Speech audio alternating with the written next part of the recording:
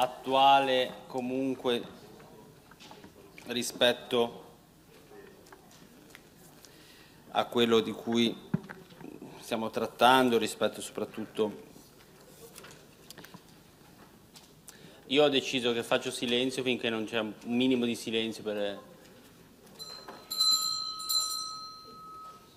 Grazie Presidente. Allora, come questa interrogazione è stata presentata il 12 di ottobre a seguito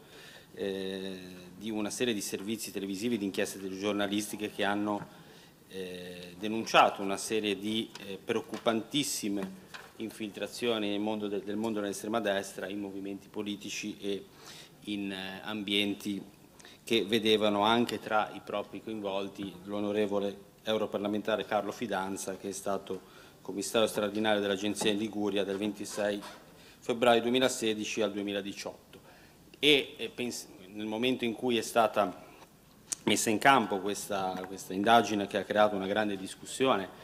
eh, nell'opinione pubblica, anche nell'Europarlamento e eh, in generale nella, nel, nella nostra comunità, ci sembrava doveroso esprimere due aspetti. Il primo è che eh, in quelle quelle, quelle trasmissioni vedevamo deriso uno dei giornalisti più esposti, eh, che si chiama Paolo Berizzi, uno dei giornalisti italiani sotto scorta per le eh, minacce del mondo neofascista e neonazista e che dal 2019 vive sotto scorta. Peraltro il Presidente della Giunta regionale, se non mi ricordo male, ha presentato anche forse qualche suo libro eh, tempo fa, eh, proprio per eh, forse la sede di Feltrinelli due anni fa. In generale la seconda era un sentimento di preoccupazione che permane perché dopo pochi mesi da quando è accaduto il fatto noi abbiamo un'inchiesta in corso, abbiamo anche dei pericolosi eh, eh, segnali di infiltrazione di mondi neofascisti in partiti politici che eh, hanno preso in parte le distanze da, questa, da questi, da questi eh, passaggi, dal saluto romano del, del, commissario Fidanza e dalla presenza di pers personalità piuttosto discutibili. Aggiungo un altro elemento che è quello che eh, esiste un tema di permeabilità delle forze democratiche da gruppi che non hanno l'obiettivo di portare legittimamente propria, il proprio pensiero, ma è quello di destabilizzare la, la, la democrazia e la democrazia rappresentativa. Quindi questo ordine del giorno chiede due cose, la solidarietà a Paolo Berizzi, eh, giornalista che è stato oggetto di minacce e che anche in quella sede è stato deriso e calunniato e la seconda una presa di distanze nei confronti di quelle che sono eh, stato il comportamento dell'onorevole Fidanza, si è autosospeso da Fratelli d'Italia, ma questo è un altro discorso, ma sicuramente essendo un europarlamentare del nostro collegio, eh, fatta salva la presunzione di innocenza, esiste un tema di condanna politica che penso che quest'Aula dovrebbe eh, in maniera unanime rappresentare. Grazie. Ovviamente un ordine del giorno su cui non vi è un vincolo di maggioranza, essendo totalmente estraneo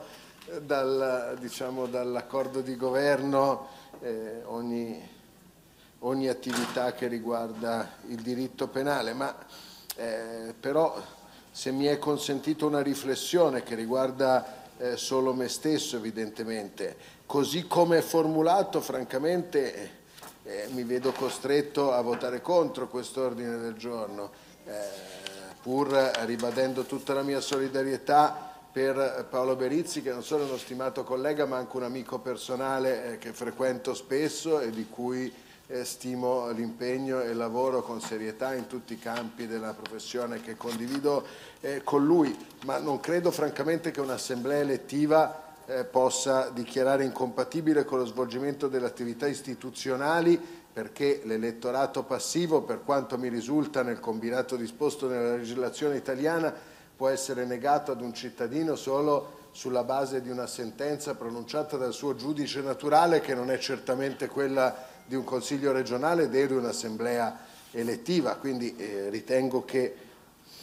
dire, associandomi alla solidarietà, che peraltro non è nel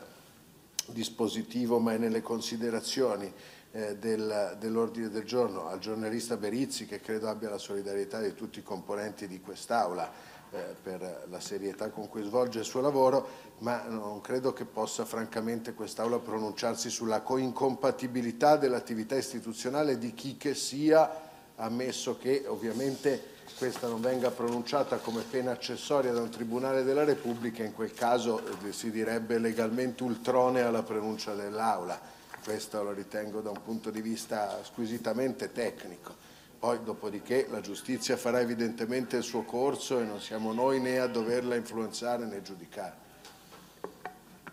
Grazie Presidente Totti. Se non ci sono interventi